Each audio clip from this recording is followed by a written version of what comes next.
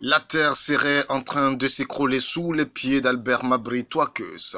Cette interrogation est d'autant plus opportune qu'après son limogeage du gouvernement, des rumeurs font état de sa convocation à la police économique.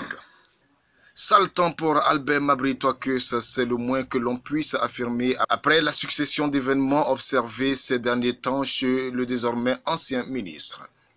En effet, à la suite du remaniement ministériel du mercredi dernier, le leader du parti Arc-en-Ciel a été limogé de son poste de ministre de l'Enseignement supérieur et de la Richesse scientifique et a été remplacé à ce poste par le docteur Adama Diawara. Cette sanction fait suite aux réticences du président du DPCI à propos de la désignation d'Amadou Koulibaly comme candidat du RHDP.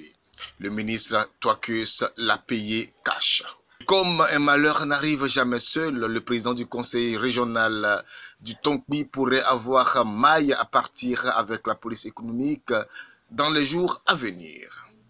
Il ressort des informations qu'Evaris Méambli, ancien président du conseil régional du Guémont, aurait convoqué Mabri devant les autorités policières pour une dette de plus d'un milliard de francs CFA contractée lors des précédentes élections et qui n'a pu être remboursé jusque-là.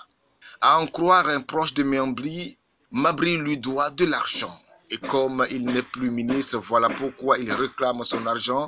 C'est pourquoi il l'a convoqué. Il y a quelqu'un qui fait un poste pour dire saltant pour Mabri. Voilà pourquoi Méambri a répondu comme ça.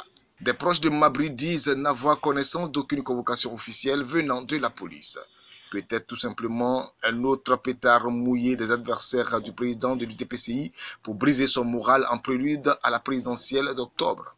Rien n'est moins sûr.